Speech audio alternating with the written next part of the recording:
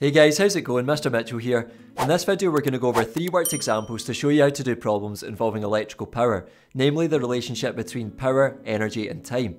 Now if you haven't already done so, check out my previous video covering the theory on this topic, and that way you'll be able to apply what you learned in that video to this one. So let's get started. Question 1 says that a washing machine uses 86.4 kilojoules of energy in a time of 3 minutes. Calculate the power rating of the machine. Well first of all notice that the two values given in the question have prefixes, so we've got kilojoules instead of just joules, and we've got minutes instead of just seconds. So writing down what we know from the question, we're trying to find the power P. We know that energy E is 86.4 kilojoules, which is the same as 86.4 times 10 to the 3 joules, and the time T is 3 minutes, so we need to multiply 3 by 60 to get the number of seconds in that, so that's 3 times 60 is 180 seconds. So writing down the equation relating power, energy and time, we have P equals E over T, and substituting in the numbers gives us 86.4 times 10 to the 3 divided by 180, and if you put that into your calculator you should get an answer of 480 watts. Question 2 says that the power rating of a kettle is 2.5 kilowatts.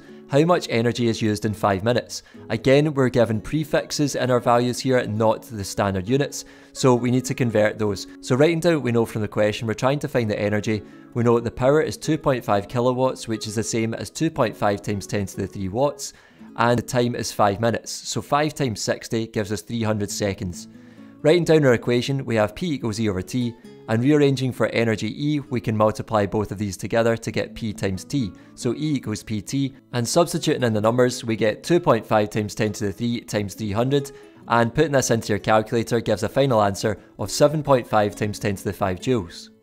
Lastly, question 3 says that if a 1 kilowatt appliance uses 3.6 megajoules of energy, how long was the appliance on for? So it's asking us for a time, and notice again we've got prefixes in our values. So this is good practice of prefixes. So writing down we know from the question, we're trying to find time t. We know that energy E is 3.6 megajoules, which is the same as 3.6 times 10 to the 6 joules, and the power P is 1 kilowatt, which is the same as 1000 watts, or 1 times 10 to the 3 watts. So writing down our equation then, we have P equals E over T, and rearranging for time, we can actually just swap the P and T, so we get T equals E over P, and putting in our numbers now gives us 3.6 times 10 to the 6 divided by 1000. And if you put that into your calculator, you should get an answer of 3.6 times 10 to the 3 seconds.